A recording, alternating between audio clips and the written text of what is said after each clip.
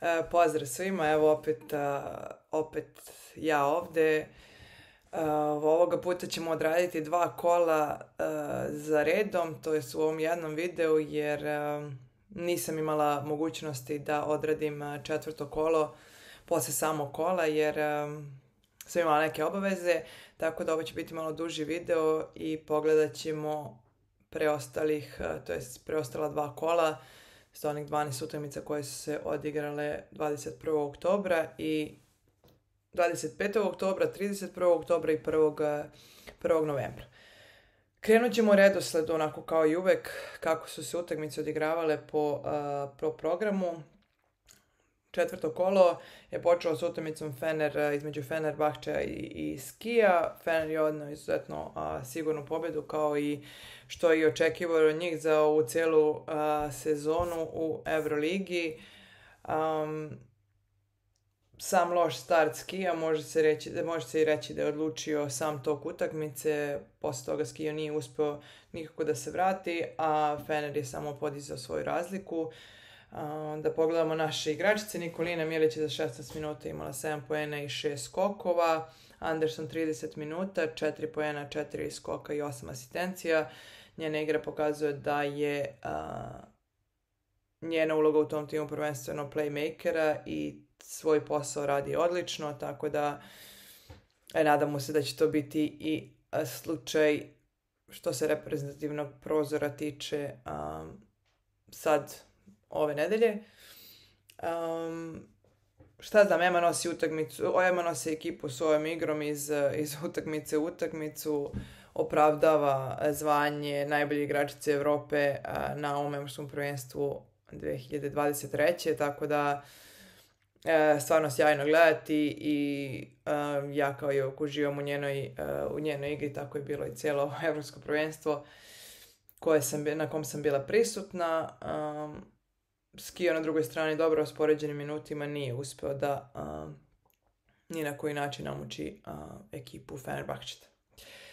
Prelazimo odmah na drugu utakmicu između DVTK i Lublina izuzetna utakmica, 74-44, izuzetna dominantna igra Miškoca i, i stvarno Miškoci izredno igra u ovom prvom dijelu bez, igra, e, bez, bez greške sve igračice a, imaju doprinost, doprinost toj igri tako da stvarno uživanje gledati ih. Lublin se držao koliko toliko, ali, ali ovaj, sama posljednja posljednja četvrtina koja je bila 23, rezultat koji se završio rezultatom 23-7 je donela i oko veliku razliku na samom kraju utakmice.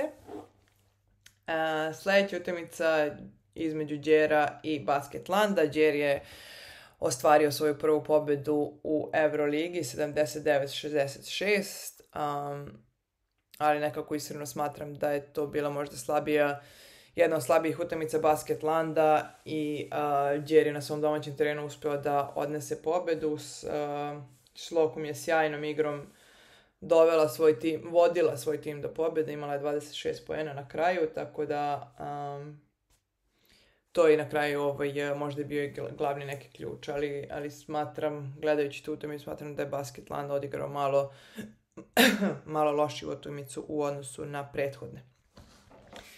A, sljedeća utakmica nam je Cukurova Polkovice. Cukurova Mersin je odnala pobedu 77-57. Izvinite. Gaga je igrala 20, e, Dragana Stanković za 25 minuta, 10 pojena i 7, 7 skokova.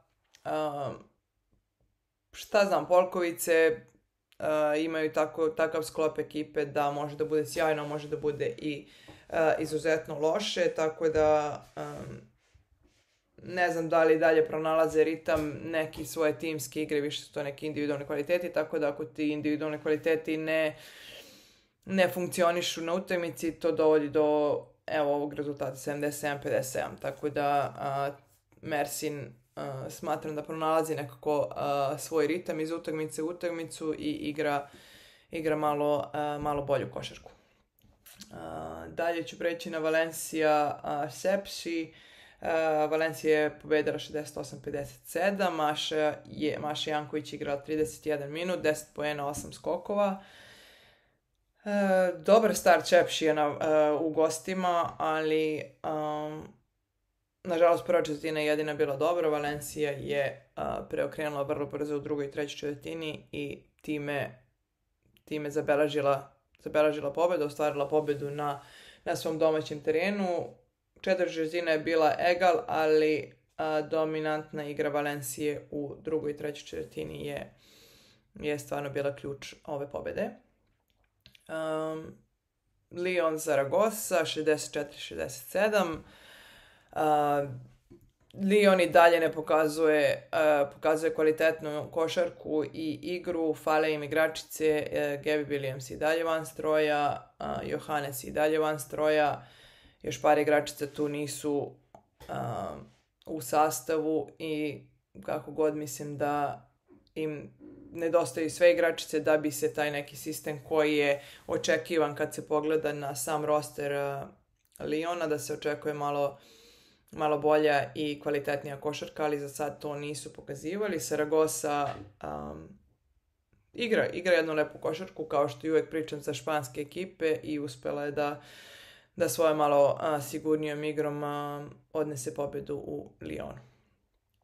Sljedeća utakmica nam je Villeneuve Virtus Bologna, 78-62 pobjeda pobjeda Vilnueva, pet igračice je bilo u dvocifreno, pet igračice je bilo sa dvocifrenim dvocifrenim brojem poena, pokazuje stvarno izuzetno timsku, izuzetno timsku igru i to je na kraju mislim da je i odlučilo pobjednika jer Virtus je malo slabije igrao na toj utakmici, tako da stvarno uh, je igrati u, u Francuskoj na, na gostujućem terenu, gostovati bilo kojoj francuskoj ekipi je izuzetno teško.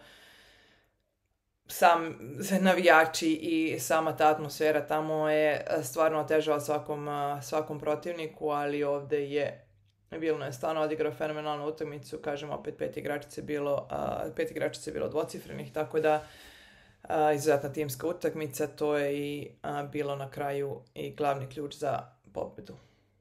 E, Avenida, posljednja utakmica u četvrtom kolu je bila Avenida Avenida Praga, Avenida je izgubila 53-64. Um, prvo, prvo vrijeme je bio izjednačen, izjednačen stvarno rezultat, dobre igre jedne i druge ekipe, ali mislim da je iskustvo ekipe Praga u drugom polovremenu odnelo, mislim i odlučilo, protiv, odlučilo pobednika na samom kraju.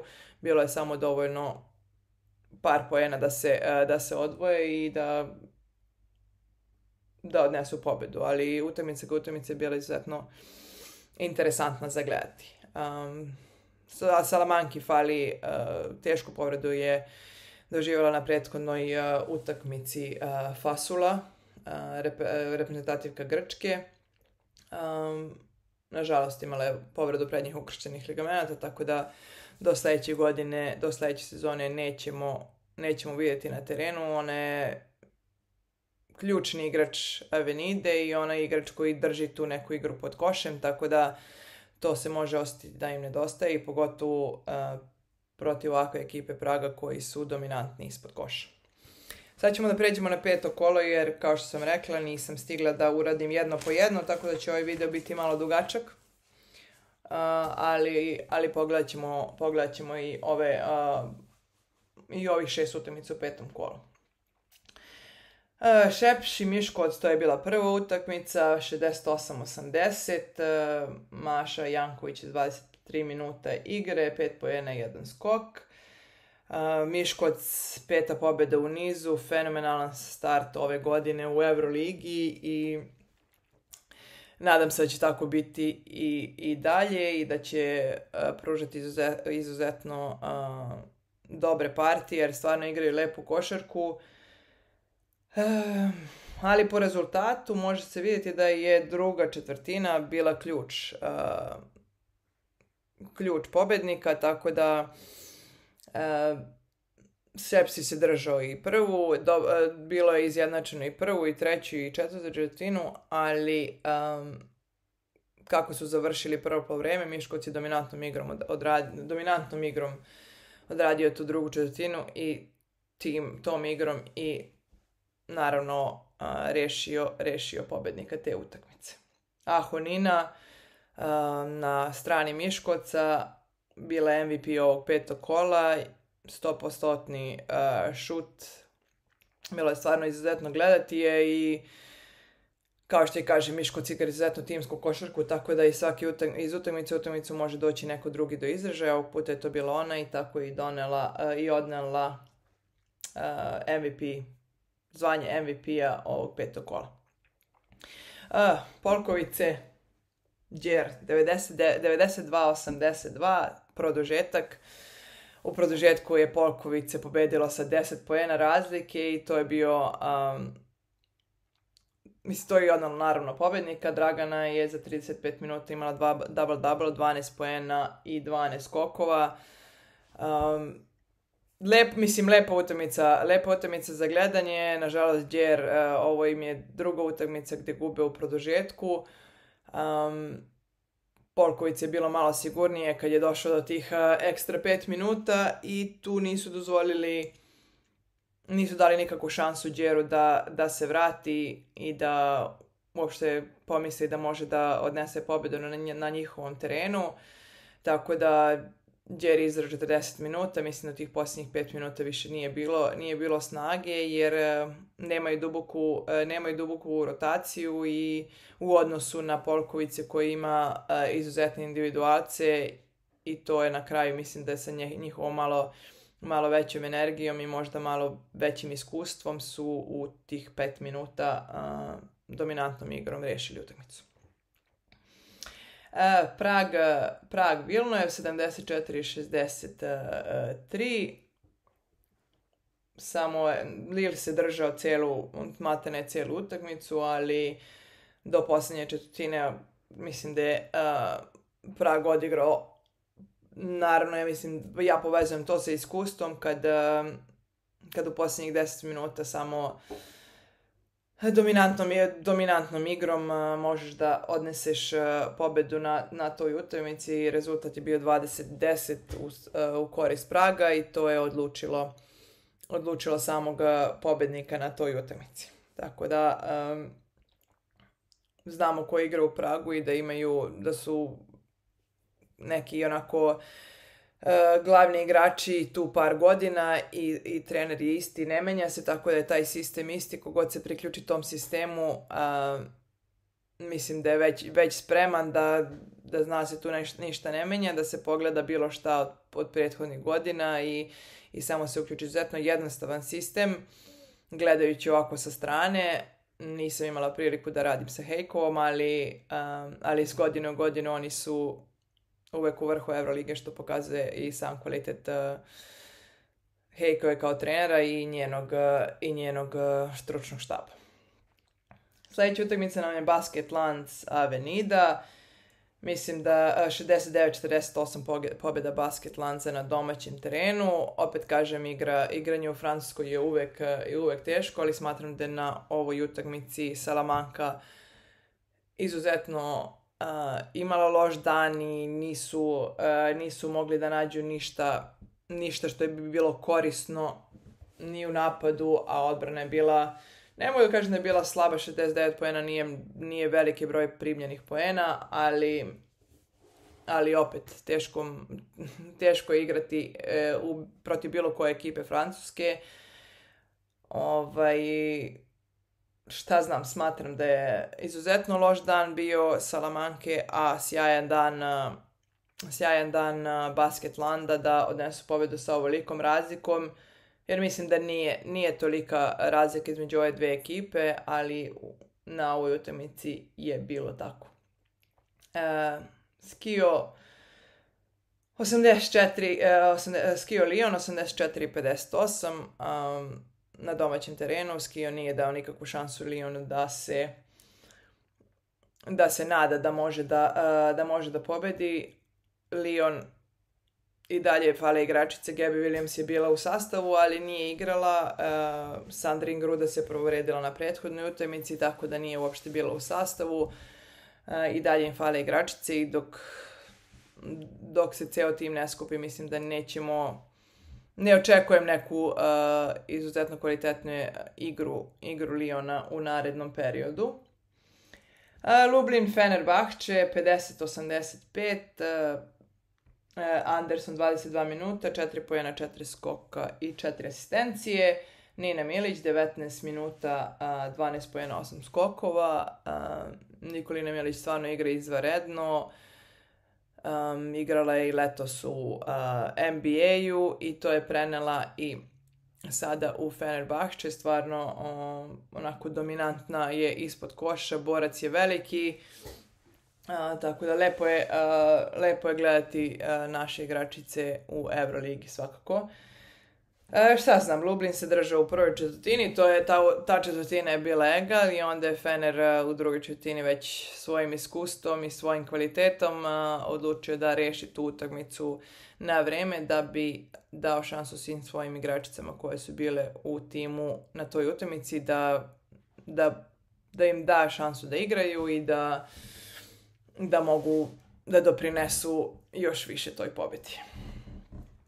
Um, imamo još dvije utakmice, Saragossa, uh, Valencija, Saragossa 59, uh, Valencija 47, španski, španski derbi je pripao, pripao Saragosi, uh, kao što sam i u prethodnim kolima pričala da mi se izuzetno sviđa igra španskih ekipa i ovo je, bila, ovo je bila utakmica za gledati, lepa košarka, ali malo sigurnija igra Saragose i prednost domaćeg terena, jer imaju izuzetnu atmosferu koju njihovi, uh, njihovi navijači prave tokom cijele utakmice i kažem sigurnijom igrom i prednošću domaćeg terena um, na kraju Saragosa je i odnela pobedu na tom španskom derbiju.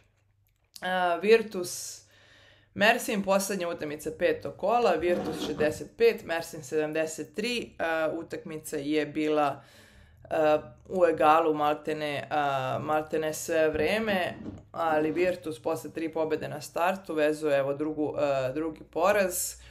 Može to malo i, uh, malo i umor, ali ajde pred pauzu je, pred FIBA pauzu je možda um, im ova pauza bude prijala da, da mogu da ovaj, nastave sa dobrom igrom da se vrate na tu uh, onu dobru igru što, sa kojom su počeli, uh, počeli Euroligu. Uh, sigurnija je stvarno igra bila Mersina na ovoj utakmici, što pokazuje da Mersin iz utakmicu u utakmicu sve bolji i bolji ritam nalazi i sve bolje i bolju, sve bolju bolju igru pružaju i uh, opet vidjet ćemo kako će to biti, kako će to biti u samom nastavku, ali to je to do ova posljednja dva kola, da se da se sad osvrnemo na, pred ovu pauzu na, uh, na tabelu obe grupe. Uh, grupa A, Fenerbahče uh, bez po... Mm, malo mi je prekidalo, izvinite. Uh, grupa A, Fenerbahče bez poraza. Uh, skor 5-0. Uh, Miškoc također na drugoj poziciji bez poraza. Uh, treće je Saragosa sa skorom od 3-2. Valencija iza nje isto 3-2. Skio je također 3-2. Uh, Polski Lublin ostvario jednu pobjedu na domaćem terenu, oni su 1-4, dok Sepsi i Lyon su bez pobjede. Što se grupe B tiče, a, a, Prag na prvom mestu, Cukurova na drugom sa skorom od 4-1. E, treće četvrto mesto, Virtus i Polkovice, skor 3-2. Peto i šesto mesto, parf, e, e, Perfumerija Savenida, Salamanca, Vilnuev, skor 2-3. I sedmo i osmo mesto, Jerry Basket Land sa skorom od 1-4. Uh, tako da to je, to je to što se, što se ove dve grupe tiče i što se tiče prvih, to je ovog četvrtog i petog kola Evrolige.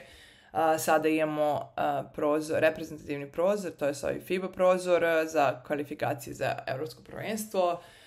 Pratite to ove nedelje i vidimo se nakon sledećeg kola Evrolige. yeah.